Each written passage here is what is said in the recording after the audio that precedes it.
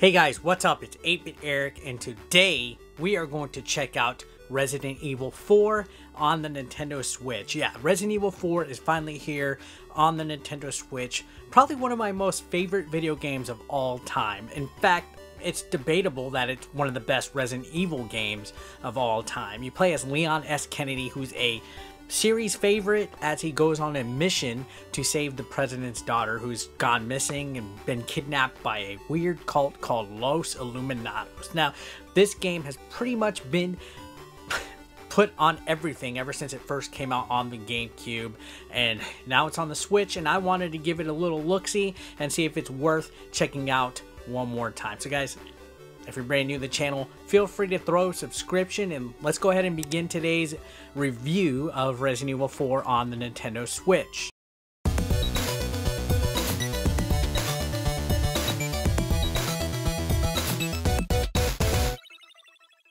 So Resident Evil 4, as I mentioned, is a port of a game that came out back in the GameCube days. At the time, it was a timed exclusive for the GameCube. Then it got a PS2 port and a Wii port. And throughout the years, there's been different variations of it, new additions added on to the gameplay, like new new DLCs and motion controls on the Wii version. And throughout time, it's actually still kind of kept its age. You know, this game has somewhat aged well throughout the year. So I was kind of curious to see how would playing it on the Nintendo Switch suffer? If would it be good? Would it be a decent port, or would it be something that was very choppy, had poor frame rate and bad gameplay mechanics and everything? It was it was a little pricey, I gotta admit, and I got this game a day early as of this video. It's not out in the United States. It comes out on the 21st. I downloaded this from the Australia eShop on the Nintendo Switch. So I give a little, you know, good gameplay variety and everything. I sunk about probably like six hours into the game. I'm like in the middle of chapter two or towards the end of chapter two. And I gotta say, I had quite a bit of nostalgia overload playing this game. It brought back lots of memories when I was just entranced with how awesome this game was. I absolutely love Resident Evil 4. Just everything about it. I, you know, I just thought it was such a great game. The way that the environment was just 3D, like free roam, and just Kennedy. Leon S. Kennedy has always been my favorite character in the series. This game is actually really creepy, especially when you get towards like the castle levels and things like that, where you get these robed maniacs that just yell "Aquí está" at you from like far away and just scare you, and then you got the chainsaw maniacs and everything like that. But this game does change up the Resident Evil formula a little bit. I, am not really going to go into complete detail of how the game plays and everything like that, like like you know the gameplay mechanics and talk about like that because this game is old. It's like over 20 years old, just about. Uh, you know, you have a certain amount of space in your weapon kit that you have to like kind of uh, storage manage like all other Resident Evils and their save points spread far and few between. But but the main objective of the game is to survive which is like all the Resident Evil games. And this one's unique because it has a, a duo mechanic. You know some parts of the game you're playing by yourself. You have Leon for a good chunk of the beginning of the game until you rescue Ashley who's the president's daughter once you have her, you have to make sure she stays out of danger. You know, you gotta make sure no enemies attack her. You gotta make sure that no enemies grab her and take her off screen. You gotta make sure she doesn't get killed or else it's game over for you. So once you get Ashley, the gameplay changes dramatically. It turns into like an escort type of game that definitely gets challenging and stressful, but in a fun way.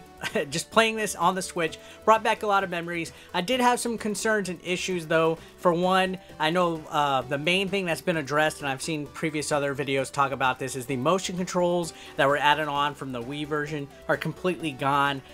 It would have been nice to have this as a feature, even if it was gyro controls, you know, with a Pro Controller or the Joy-Cons.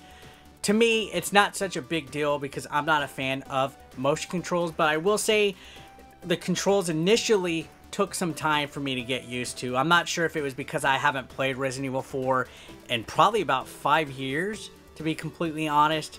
Uh, you know, aiming, you hold the shoulder button to pull your gun out, and then the aiming is with the right analog stick. And it seems a little slow and kind of wonky at times, but once I played through a couple hours in, I started getting headshots like nobody's business. I started knocking off heads off of some of these Los Illuminados cattle like nothing and I started to enjoy it somewhat. It did take some time getting used to. I think it's because honestly, most games nowadays, this is to like kind of turn your character and this is to like move forward. You know what I mean? Like when you're playing like a twin stick game and this ain't really used to control the camera. This actually has you moving the character as well. So I kept thinking when I wanted to start going left or right to push this and it actually threw me off quite a bit.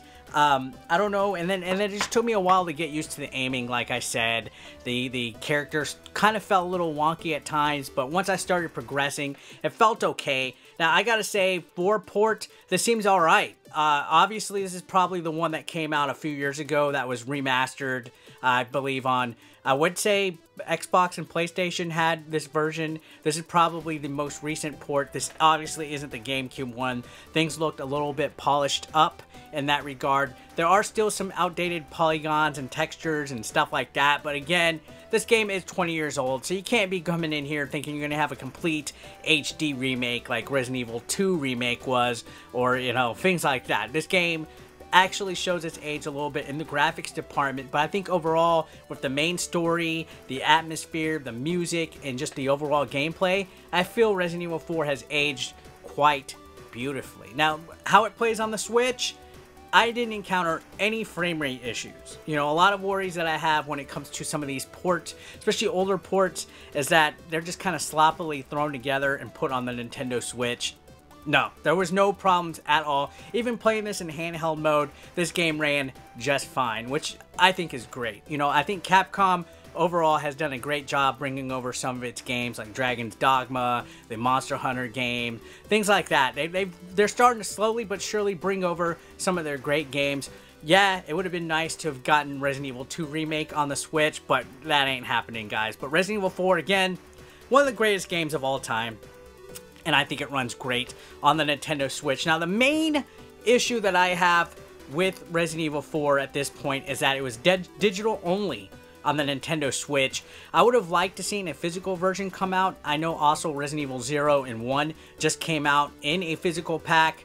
One of the games on that physical pack, though, is digital download only, which is kind of sad and a little annoying and I wish Resident Evil 4 would have had that option. I wish they would have had the physical version. And then not to mention, it is pricey for a download only game. This game, I bought it on the Australia eShop probably for about about $40 and that was not including how much I had to buy a eShop card for, you know, for the Australian shop. So I probably paid about 60 total to get this game just to download it and play it for you guys on a review. So the download about 40-ish dollars, maybe. Um, I don't know, my math is wrong in Australian money. I have no clue.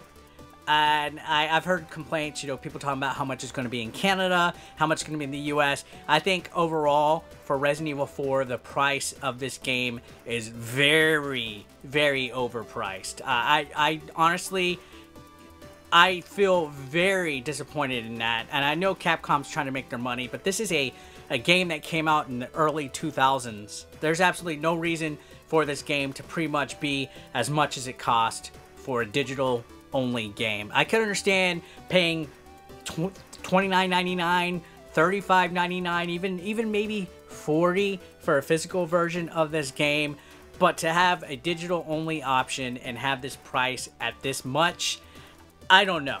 I, I would honestly probably say, unless you are a big Resident Evil fan, probably don't get it. I, I, for one, have it on Wii, PS2, GameCube, and probably who God knows what else. Uh, I wanted to check it out just to see if it was worth to review to you guys. So that's first and foremost the reason why I get it. I know I had somebody on Twitter say, oh, nice of you to show that you like to waste money.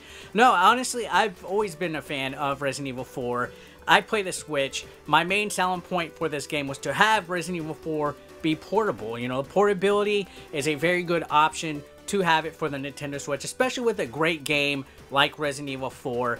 It runs beautifully, it's a lot of fun, it's everything that I remember, it has a nostalgia overload for me, it's a great game, everything about it, there's no huge nuances to it, I think it's aged great, you know, the control takes a little bit of getting used to because really games don't really control this way anymore, and yeah, the graphics kind of look a little outdated, but overall, it's a fantastic game. I would rate Resident Evil 4 a solid 8.5, close to a 9, but its main point for me that kind of negates it is that it's definitely overpriced, guys.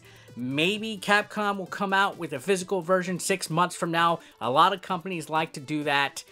I don't know why. It's kind of annoying. It makes me mad when I digital get download a game and then a couple months later they announce a physical release coming. It's like, wow. I understand there's business and everything, but a heavy hidden game, probably one of the most biggest staples in your company's history, Capcom.